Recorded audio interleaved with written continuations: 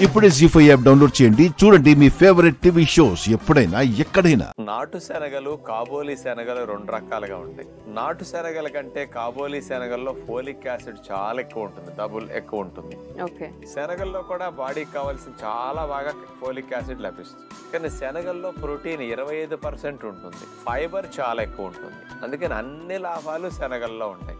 కొంచెం గ్యాస్ వస్తుందని అనుమానమే తప్ప అందరికీ. ఈ ఫలితాలు ఉన్నాయి కాబట్టి ఇలాంటి శనగలతో నూనెలో తేవిన టిక్కీలు అయితే ఎక్కువ గ్యాస్ని ప్రొడ్యూస్ చేస్తాయి. నూనె లేకుండా నాన్ స్టిక్లో గనక ఈ టిక్కీలు గనక మనం మేగడేసి కాల్చుకుంటే డైజెషన్ సులభంగా అవుతుంది గ్యాసెస్ అట్లా ఎక్కువగా ప్రొడ్యూస్ కాకుండా ఉంటాయి. కాబట్టి అలాంటి హెల్దీ వేలో శనగల టిక్కీ ఎలా చేసుకోవాలో చూద్దాం. నాటు శనగలతో వెజిటబుల్ టిక్కీ తయారు చేయడానికి కావాల్సిన పదార్థాలు నానబెట్టిన నాటు శనగలు ఒక కప్పు క్యారెట్ తురుము అరకప్పు బీట్రూట్ తురుము అరకప్పు క్యాప్సికమ్ ముక్కలు పావు కప్పు అల్లం ముక్కలు ఒక టేబుల్ స్పూను నిమ్మరసం ఒక టీ స్పూను పచ్చిమిరపకాయలు రెండు చాట్ మసాలా కొద్దిగా కరివేపాకు కొత్తిమీర కొద్దిగా. ముందుగా నానబెట్టిన నాటు శనగలను మనం మిక్సీ జార్లో వేసేసి అందులో అల్లం ముక్కలు కరివేపాకు కొత్తిమీర ఇవన్నీ వేసేసి ముక్క చెక్కలాగా చేసుకోవాలి. టిక్కీ కొరకు అట్లా ముక్క చెక్కలా చేసుకున్న దాన్ని బౌల్లో తీసేసుకుంటాం. అందులో కాస్త వెజిటబుల్ కాంబినేషన్ కోసం క్యారెట్ తురుము బీట్రూట్ తురుము క్యాప్సికమ్ ముక్కలు కొద్దిగా చాట్ మసాలా. వీటన్నిటిని చేత్తో బాగా కలిపేస్తాం. అందులో ఉప్పు లేని చప్పదనం లేకుండా నిమ్మరసం కలిపేసేసి టిక్కీల కోసం గుంటల నాన్ స్టిక్ తీసుకుని పొయ్యి మీద పెట్టేసి అందులో కొద్దిగా మేగడ రాసేసి కొద్దిగా పిండి తీసుకుని గుండ్రంగా అట్లా టిక్కీలు చేతి వేళ్ళతో నొక్కి వేసేస్తాం. సన్న సెక్క మీద ఒకవైపు కాలిన తర్వాత వాటిని తిప్పి మరోవైపు కాల్చుకుంటే కలర్ఫుల్గా టిక్కీలు బాగుంటాయి. నూనె లేకుండా చేసుకునేట టిక్కీలు ఇప్పుడు న్యూ హెల్త్ ట్రెండ్ అనమాట బీట్రూట్ క్యారెట్ ఇవన్నీ ఉండటం వల్ల ఉప్పు లేని లోటు లేకుండా పిల్లలు కూడా హ్యాపీగా తినేస్తారు. డాక్టర్ గారు ఈ నడుం చుట్టుకొలతలో ఈ వేస్ట్ దగ్గర ఉన్న ఫ్యాట్ తగ్గించుకోవాలంటే కనుక ఎలాంటి వ్యాయామాలు చేస్తే బాగుంటుంది అంటారు నడుము చుట్టూ ఉంటే కొవ్వు ఎక్కువయ్యే కొద్దీ మీ ఎనర్జీ లెవెల్స్ మీ ఎఫిషియన్సీ రెండు తగ్గిపోతాయి. మీ ఆయుష్ కూడా తగ్గిపోతుంది. ఎందుకంటే ఈ భాగంలో కొవ్వు పెరుగుతుంటే లంగ్స్ చివరి భాగాలు నొక్కబడుతుంటాయి. గాలి చివరి భాగాల వరకు లంగ్స్ ఎక్కదు ప్రాణవాయు సంచారం ten twenty percent తగ్గిందంటే ten twenty percent efficiency life మీకు తగ్గిపోయినట్టు. మీ ఎనర్జీ లెవెల్స్ కూడా ట్వంటీ పర్సెంట్ తగ్గినట్టు. తగ్గినట్టు. కాబట్టి నడుము చుట్టూ ఉండే కొవ్వు అందరికీ తగ్గాలి. ఆడ మగ భేదం. పెద్ద వయసు వారికి మరీ ఎక్కువ ఉంటుంది. కానీ గోడ సహాయంతో పొడుకుని సులభంగా చేయగలిగే నాలుగు వ్యాయామాలు నడుమును తగ్గించేవి చాలా మంచిగా ఉన్నాయి. మరి అలాంటి డిఫరెంట్ వ్యాయామాలు చూడండి. నడుము చుట్టూ ఉండే కొవ్వు తగ్గటానికి బాగా ఉపయోగపడే నాలుగు వ్యాయామాలు చూడబోతున్నప్పుడు ముందుగా ఒక గోడ కానీ ఒక పిల్లర్ కానీ సపోర్ట్ తీసుకుని దాని పక్కనే మనం అట్లా నుంచుంటాం. కుడి చేతిని తల వెనక భాగంలో అట్లా పెట్టుకుంటాం. కుడి కాలుని పైకి లిఫ్ట్ చేసి కుడివైపుకి మెడని నడుమును సైడ్కి అట్లా బెండ్ చేసి కుడి మోక చేత్తో కుడి మోకాలు తగిలేటట్లా మనం మూమెంట్ ఇస్తాం.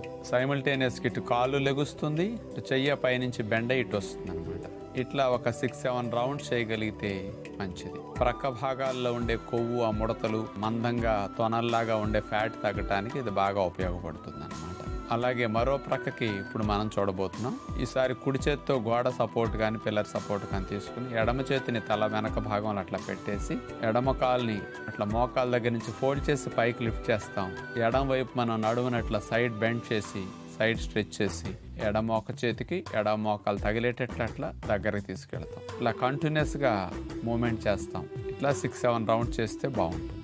రెండవది వీపు భాగానికి ఇట్లా గోడ సహాయం తీసుకుని కాళ్ళు దూరంగా జరిపి మనం అట్లా మోకాళ్ళను బెండ్ చేసి గోడ కుర్చీ వేసినట్టుగా అట్లా కిందకు వంగుతాం. తర్వాత రెండు చేతుల్ని తల వెనకాల పెట్టేసి చేతులు వేళ్ళ వెళ్ళేసి లాక్ చేసేసాక ముందు రైట్ సైడ్ అట్లా సైడ్ బెండ్ అవుతాం. తర్వాత లెఫ్ట్ సైడ్ తర్వాత రైట్ సైడ్ తర్వాత లెఫ్ట్ సైడ్. ఇట్లా సైడ్ బెండింగ్ చేస్తాం అనమాట నడుమ బాగా సన్నగా అవటానికి ప్రక్క భాగాల్లో ఉండే కొవ్వు కరగటానికి ఇది చాలా మంచిది. ఇది ఒక పదిహేను ఇరవై రౌండ్ చేయగలిగితే చాలా మంచిది. అలవాటు లేనప్పుడు మూడు నాలుగు సార్లు ఐదు సార్లు చేసి ఆపేసి అక్కడి నుంచి చేయగలిగితే స్త్రీలకు లావు ఎక్కువ ఉన్నా మోకాళ్ళు బరువు ఎక్కువ ఉన్నా కానీ నొప్పులు ఎక్కువ ఉన్నా కానీ ఇబ్బంది లేకుండా ఇది బాగా చేయగలుగుతారు. ఇక మూడో వ్యాయామం. స్ట్రైట్గా నుంచిన తర్వాత కుడికాల్ని ఎడమ పాదం పక్కనే పెట్టేస్తాం. అట్లా మెలికేసినట్టుగా ఎడమ చేతిని గోడ కానిచ్చేస్తాం. కుడి చేతిని పైకి లిఫ్ట్ చేసి ఎడమ వైపు సైడ్ ఎట్లా మనం బెండ్ అవ్వాలి.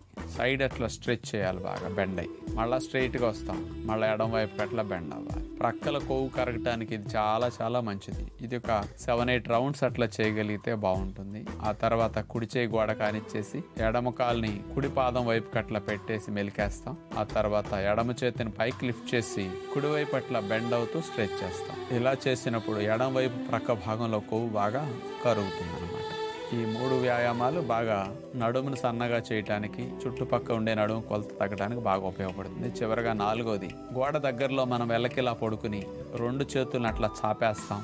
రెండు కాళ్ళను లేపి గోడ మీద ఒక అడుగు అడుగు ఎత్తులు అట్లా పెట్టేసి పాదాలు ఆనిచ్చేస్తాం. ఇప్పుడు చూడండి పాదాలు అట్లా ఆనుంటాయి రెండు మోకాళ్ళని కలిపేసి ఒకసారి రెండు కాళ్ళను కుడివైపు అట్లా నేల కానేటట్టు తీసుకొచ్చి అక్కడి నుంచి మళ్ళా ఎడం వైపుకి నేల కానేటట్టు అట్లా కలిపేసి మూవ్ చేస్తాం కుడి నుంచి ఎడమకి ఎడమ నుంచి కుడి భాగానికి అట్లా కాళ్ళను మనం కదిపే ప్రయత్నం చేస్తాం నడుము బాగా ట్విస్ట్ అవుతుంది కాబట్టి నడుము భాగం సన్నగా అవటానికి చాలా బాగా ఉపయోగపడుతుంది. ఇట్లా ఒక పది రౌండ్స్ అన్నా చేయగలిగితే చాలా మంచిది. డాక్టర్ గారు మరి ఫ్రోజన్ షోల్డర్ అనేది అసలు ఎందుకు వస్తుంది? అలా అడ్మిట్ అయిన వాళ్ళందరికీ కూడా మీరు ఎలాంటి ట్రీట్మెంట్స్ అందిస్తారో కూడా ఒకసారి చూపిస్తారా? అలాగేనమ్మా. చాలా మందికి వయసు పైబడే కొద్దీ జాయింట్స్ బిగిసిపోవటం అనేది సహజంగా జరుగుతూ ఉంటుంది. గూడు భాగాన్ని సరిగా వాడనందువల్ల ఈ గూడు జాయింట్ కూడా స్టిఫ్ అయి బిగిసిపోయి బాగా తలంతా వెనకాల బాగా రుద్దుకుందామంటే వెనక్కి వెళ్ళకపోవటం చేతులు జాకెట్ వేసుకోవాలన్న ఇబ్బందులు అట్లాగే వీపు గోక్కోవాలన్నా తోముకోవాలన్నా చేతులు వెనక్కపోవటం జడేసుకోవటానికి కూడా చేతులు వెనక్కి వెళ్ళక ఇబ్బంది కలగటం చాలా మందిలో జరుగుతుంది. ఇట్లా షోల్డర్ గూడు జాయింట్ అనేది బాగా స్టిఫ్గా బిగిసిపోతే ఫ్రోజన్ షోల్డర్ అంటారు. మరి దీంతో చాలా మంది ఈ రోజుల్లో ఎక్కువగా బాధపడుతున్నారు. మరి ఈ ఫ్రోజన్ షోల్డర్ సమస్యతో బాధపడే వారికి రకరకాల వ్యాయామాలు ఆకుప్రెషర్ ఆకుపంచర్ ట్రీట్మెంట్లు హండ్రెడ్ పర్సెంట్ నార్మల్గా చేయడానికి అవకాశాలు ఉంటాయి. పదిహేను రోజుల్లోనే చాలా మందికి ఫ్రీగా అయిపోతుంది. కొంతమందికి నెల రోజుల్లో కంప్లీట్ ఫ్రీ అయిపోతుంది. మరి ఇలాంటి వారికి మన ఆరోగ్యాలయంలో ఒక ఐదు రకాలుగా బెనిఫిట్ పొందే మార్గాలను మనం అందిస్తూ ఉంటాం. ఐదు రకాల ట్రీట్మెంట్స్ అనుకోండి ఒకటి ఫిజియోథెరపీ రెండోది యోగా మూడవది ఆకుప్రెషర్ నాలుగవది ఆకుపంక్చర్ ఐదవది గ్రీన్ జిమ్ వ్యాయామాలు. ఈ ఐదు రకాల ట్రీట్మెంట్స్ ఫ్రోజన్ షోల్డర్కి బాగా ఉపయోగపడుతుంది.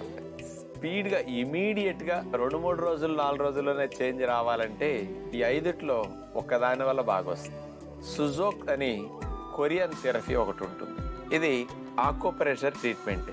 గూడు భాగం బిగిసిన దాన్ని మళ్ళీ ఫ్రీ చేయడానికి దాన్ని యాక్టివేట్ చేసే కొన్ని నర్వస్ చేతి వేళల్లో ఉంటాయి. వాటిని అట్లా ప్రెస్ చేసి ఆ భాగంలో చిన్న మ్యాగ్నెట్ పెట్టేసి ఆ భాగంలో బ్యాండ్ వేసేస్తారు చిన్నది టేప్ లాగా. ఆ నర్వ్ ప్రెస్ చేసి యాక్టివేట్ చేయడం ద్వారా కొంతమందికి అయితే అసలు ఈ ట్రీట్మెంట్ హాఫ్ అన్ అవర్ ఇచ్చేసరికి మళ్ళీ ఫ్రీగా లేచిపోతాడు అందుకని ఇలాంటి సుజోక్ థెరపీ అనేది మన ఆరోగ్యాలయం ఈ మధ్య అందుబాటులోకి తీసుకొచ్చాం. ఓకే. ఆకుపంచర్ ట్రీట్మెంట్స్ కూడా చేస్తారు. కొన్ని రకాలుగా నర్వస్ని యాక్టివేట్ చేయడం కోసం సూదులు పెయిన్ లేకుండా గుచ్చే సూదులు ఉంటాయి ఈ ఆకుపంచర్ ట్రీట్మెంట్స్ ద్వారా కూడా షోల్డర్ జాయింట్ స్టిఫ్నెస్ బాగా తగ్గుతుంది. ఇది రెండో పద్ధతి. సందర్భాన్ని బట్టి ఏది బెస్ట్ అనేది వాళ్ళకున్న సమస్యను బట్టి డాక్టర్ నిర్ణయిస్తారు ఇక్కడ. జీ యాప్ డౌన్లోడ్ చేసి అన్ని ఎపిసోడ్స్ పూర్తి ఉచితంగా చూడండి.